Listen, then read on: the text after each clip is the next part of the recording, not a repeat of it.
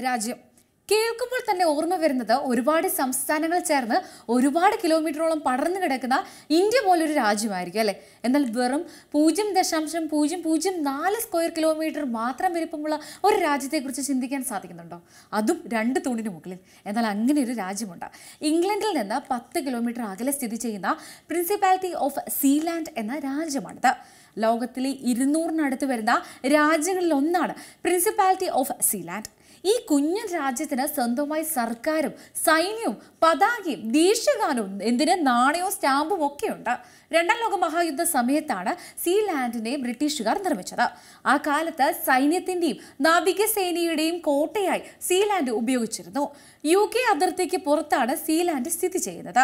രണ്ടാം ലോക യുദ്ധകാലത്ത് U K ഗവൺമെന്റിന്റെ മൗണ്ട്സൽ കോട്ടകളുടെ ഭാഗമായി എച്ച് എം ഫോർട്ട് റബ്സ് നിർമ്മിച്ചു.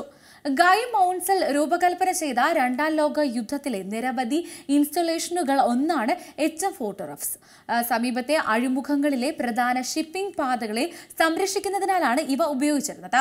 ഈ മൗൺസൽ കോട്ടകൾ ആയിരത്തി തൊള്ളായിരത്തി അമ്പത്തി ആറിൽ നിർത്തലാക്കപ്പെട്ടു. അങ്ങനെ ഡീകമ്മീഷൻ ചെയ്ത ടവർ പാഡി റോയ് മുൻ ബ്രിട്ടീഷ് ആർമി മേജറായ റോയ് ബേറ്റ്സും കുടുംബവും വാങ്ങുകയുണ്ടായി. ആദ്യം അതൊരു പൈറേറ്റ് റേഡിയോ സ്റ്റേഷനായി ആരംഭിക്കുകയും പിന്നീട് റോയ് ബേറ്റ്സ് അതിനെ ഒരു പരമാധികാര രാഷ്ട്രമായി പ്രഖ്യാപിക്കുകയുമായിരുന്നു. തന്റെ ഭാര്യയെ സീലാൻഡിന്റെ രാജ്ഞിയായും തന്നെ രാജാവായും അദ്ദേഹം പ്രഖ്യാപിച്ചു. ആയിരത്തി തൊള്ളായിരത്തി അറുപത്തി എട്ടിൽ ബ്രിട്ടീഷ് സർക്കാർ റേഡിയോ സ്റ്റേഷൻ പൊളിച്ചു മാറ്റാൻ ഒരു ശ്രമം നടത്തിയിരുന്നു. സ്റ്റേഷൻ പൊളിക്കാനെത്തിയ തൊഴിലാളികൾക്ക് നേരെ ബീറ്റ്സും മകൻ മൈക്കിളും വെടിയുതിർത്തു.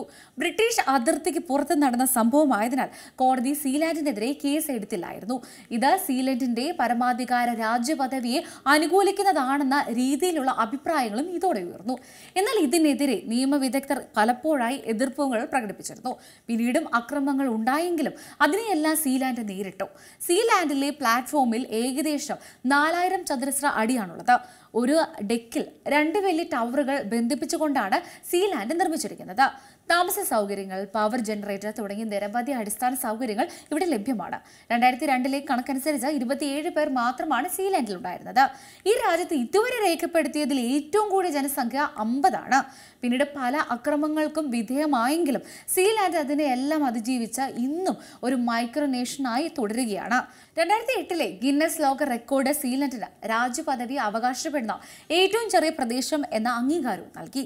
സീലൻഡിന്റെ സമ്പദ് വ്യവസ്ഥയുടെ നട്ടൽ എന്ന് പറയുന്നത് രാജ്യത്തിന്റെ നാണയങ്ങളും സ്റ്റാമ്പുകളും ഇഷ്യൂ ചെയ്യുന്നതിലും വിനോദസഞ്ചാരത്തിലും സീലാൻഡ് തീം മെർച്ചൻഡൈസ് ചെയ്യുന്നതിലും ഒക്കെയാണ് ഈ രാജ്യം കാണാനായി എത്തുന്നവർക്ക് മറ്റേത് രാജ്യത്തെയും പോലെ പല വെരിഫിക്കേഷനുകളും കടന്നു പോകേണ്ടി വരും ഇവിടെ എത്താൻ. സീലാൻഡ് പ്രിൻസിപ്പാലിറ്റി ഒരു സ്വതന്ത്ര പരമാധികാര രാഷ്ട്രമാണെന്ന് അവകാശപ്പെടുന്നുണ്ടെങ്കിലും മിക്ക രാജ്യങ്ങളും സീലാൻഡിനെ അന്താരാഷ്ട്ര നിയമപ്രകാരം പരമാധികാര രാഷ്ട്രമായി അംഗീകരിക്കുന്നില്ല. അതുകൊണ്ട് തന്നെ ഒരു മൈക്രോനേഷനായി തുടരുകയാണ് സീലാൻഡ്. ഏറ്റവും പുതിയ വാർത്തകളും വിശേഷങ്ങളും വിരൽ തുമ്പിലറിയാൻ സി മലയാളം ന്യൂസ്. എല്ലാ ഡിജിറ്റൽ പ്ലാറ്റ്ഫോമുകളിലും ലഭ്യം.